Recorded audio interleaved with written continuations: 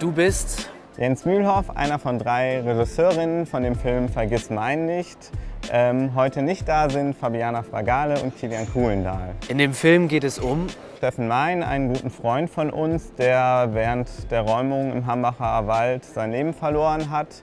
Und es geht aber auch um Aktivismus und darum, wie Menschen dort eben versuchen, politisch wirksam zu sein. Der Hambi ist ein utopischer Ort, wo Menschen versuchen, eigentlich für eine bessere, gerechtere Welt Lösungen zu finden.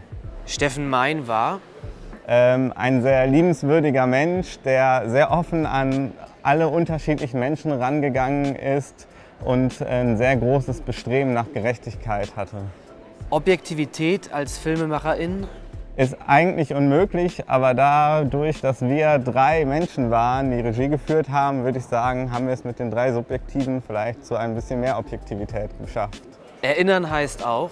Erinnern heißt aus der Vergangenheit zu lernen und eben zu gucken, wie man das im Jetzt, im Hier und Heute anwenden kann und was für eine Verantwortung man auch hat. Das Publikum soll sich in jeder Sekunde in dem Film eigentlich selber positionieren, was sie von dem, was sie da sehen, halten und von dem, was sie da hören.